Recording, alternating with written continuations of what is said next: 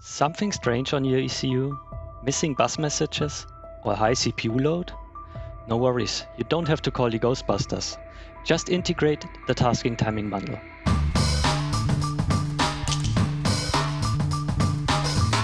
Hi, my name is Thomas and I'm part of the runtime experts at Vector.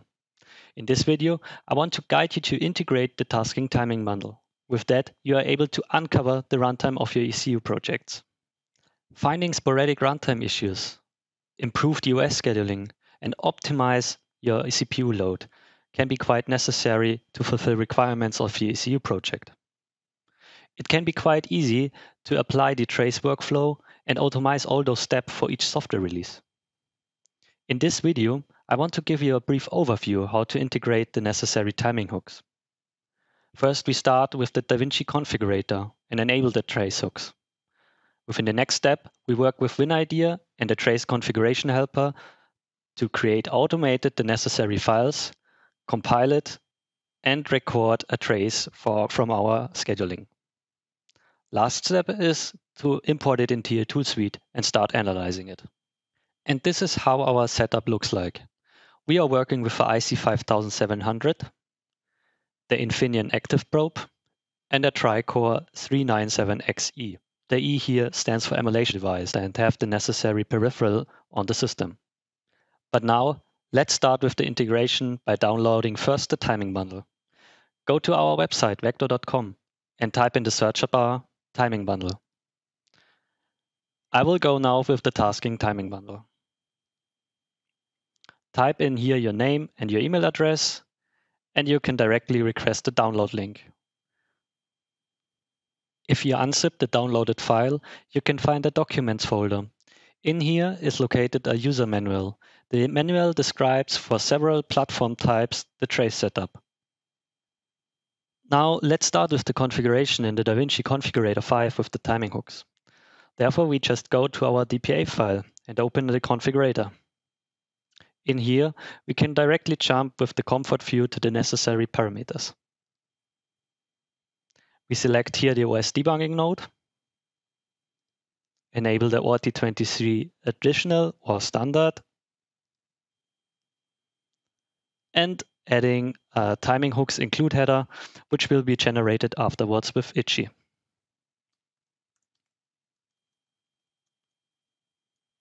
And that's it for the OS tracing. Now we can go to the VFB tracing and enable the runnables which we want to catch up in our trace just enable it. And here we have assistant functionality. And this is what we want to use. We just easily select the runnables which are mapped to a specific task and hit next. And here for the example, I just go with the first start application cyclic runnables in here. By hitting next, we would see that each runnable contains a start and a return hook. This is what we want to add in our VFB trace function. That's it also for the VFB tracing. The next step is just to generate the necessary files. Here we can just go, go directly down to the timing node, enable it, and try to generate. The generation steps are finished successfully, and that's why we are done within the configurator 5. Now we move on to WinIDEA. Now we can open up WinIDEA. As you can see, I already have opened up uh, the analyzer, but under View, Analyzer, you can create your own window for the analyzer and attach it here in the frame. For the configuration steps, you can just go under Debug, Configure Session, select your application, go to the OS tab, and start the Itchy wizard. As you can see, Itchy, the tasking trace configuration helper, prompts up and you can select here the stored file, the itchy underscore config.json file, which contains all informations that we have created in here. Since there is no configuration already done, we start with handover or pointing out to the os.ord file. This is generated from the generator 5.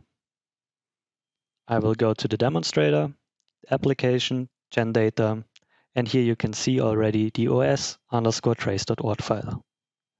The next file is the profiler.xml file. This is necessary to get all signal and IDs back in our initial trace.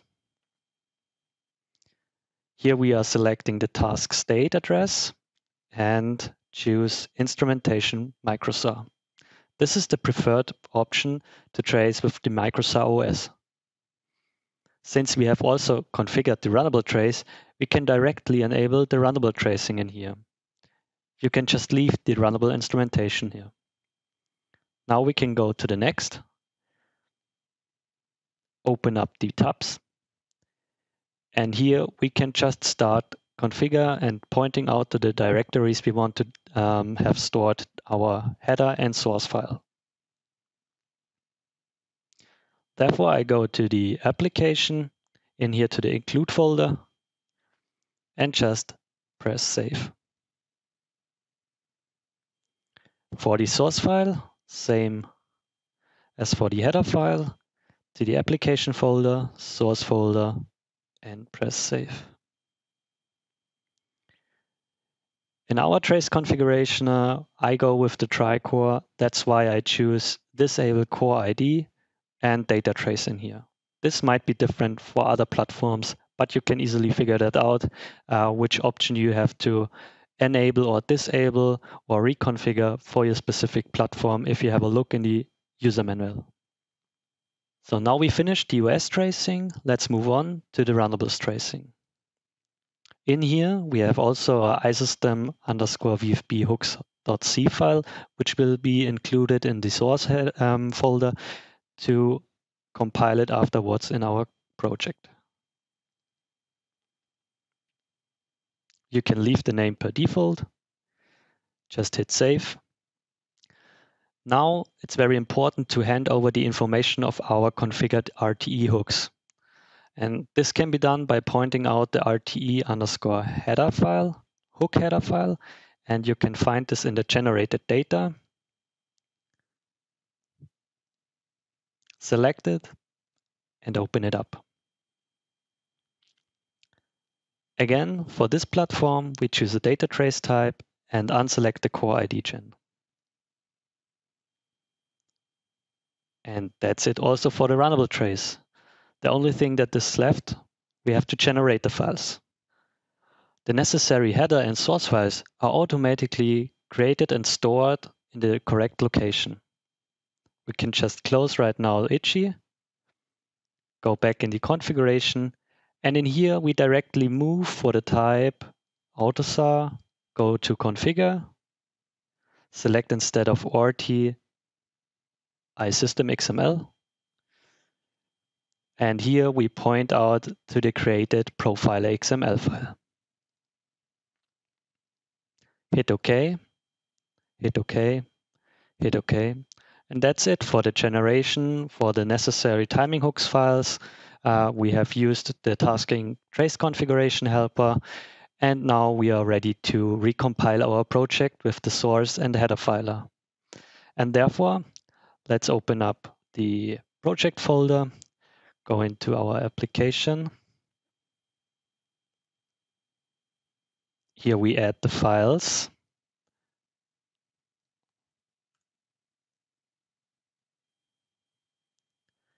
Close. and can build our project.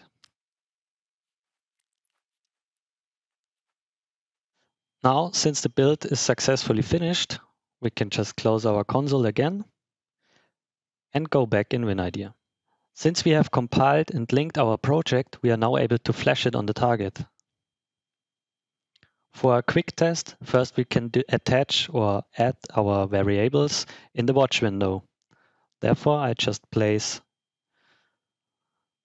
the name inside of the watch window. Also for the second runnable trace variable. And if I let it run, I would see or I would expect that from time to time the variable is getting updated. And this is the first indication that the timing hooks are added correctly. Now we know The timing hooks implementation works. We can now move on and configure the trigger for our WinIDEA analyzer to start the recording. Therefore, you can go to the hammer icon, open up the drop-down menu and create a new configuration. You can type in a meaningful name, OS and runnables. Disable the coverage and enable the manual configuration. Just hit OK. Again, OK. And now again, hit the hammer icon. In here, we just want to add a new application. Open up the drop-down menu, select our application, and hit OK. Now it becomes very uh, platform specific. If you have a look in the user manual, you find several configurations for different microcontrollers. Here we go with the configuration for a tri-core device. Now we can open up the application folder and go to the tab Profiler. And here we see already our OS objects. Those information come from our Profiler XML. And the information contains like OS objects like category 2 interrupts, OS tasks, and as we already have configured the VFB trace functionality for some runnables, we can also enable here the runnables. Now we can go back to the recorder and start with a hardware specific configuration. In here, we will disable the timer interpolation, select the option upload while sampling, and go under configuration. Here we check out the MCDS, and since we know the data mapping is done core locally for core 0, we can just select POB set, which means the processor observation bus set, and select CPU 0.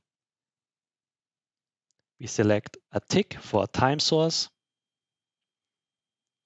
go to the tri-core set options.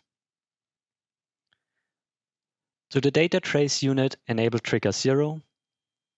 And here we select our implemented timing hooks.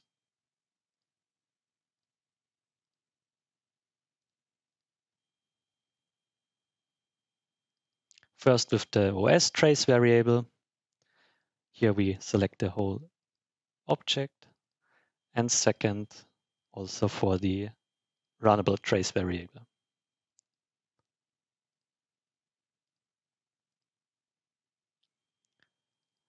We apply our event trigger and use the default ones.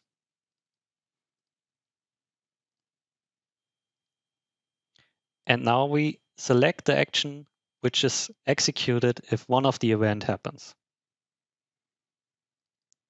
This is done for the data trace unit write data and write address. And here we apply both of the events. On a level state, again the level state, but here the event one.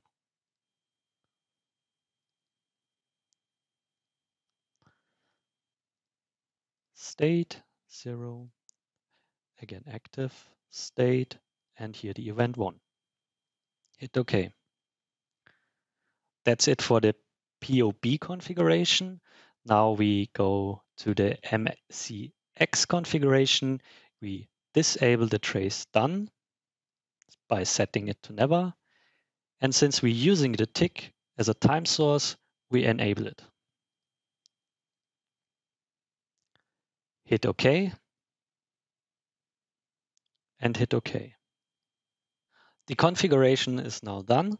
You can see you use the trace OS runnable. This is the trigger that we have applied right now.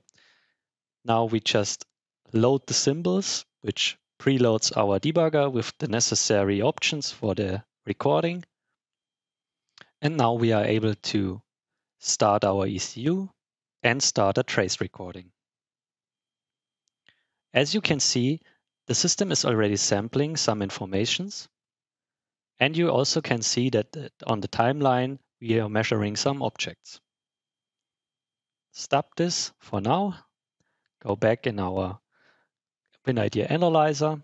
And here you can see we have several tasks and the three runnables captured that we have applied. This information right now can be directly exported by select the BTF file in here, give a name like BTF trace1, select the timeline and in here make sure that the entire session is selected. Disable the launch associated viewer option and export it. We have now export the trace in a BTF format, and this format can be reused from TA Tool Suite to start analyzing in the TA inspection. Let's minimize WinIDEA. Open up TA Tool Suite, and here we can see already the prepared workflow for easy import and evaluation of the recorded BTF file.